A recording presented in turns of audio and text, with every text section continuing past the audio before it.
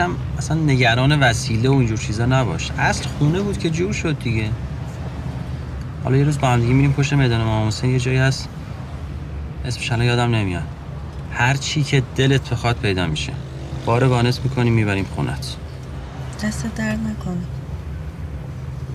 میگم علی رضا همون اولین باری که جلو کافه مهتاب دیدمت معلوم بود با همه فرق می‌کنی.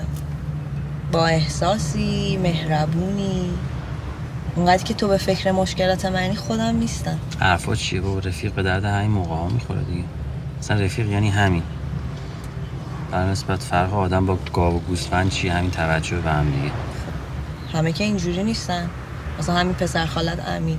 قشنگ تابلو بود قرار بود امروز اون بره فرودگاه انداخت کردن تو. مطمئنم با آتیه بوده.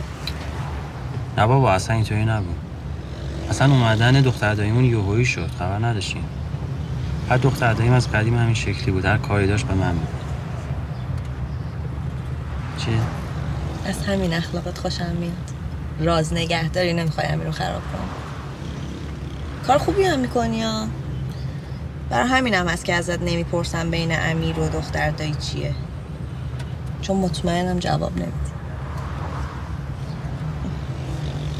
تو فرق می‌کنی.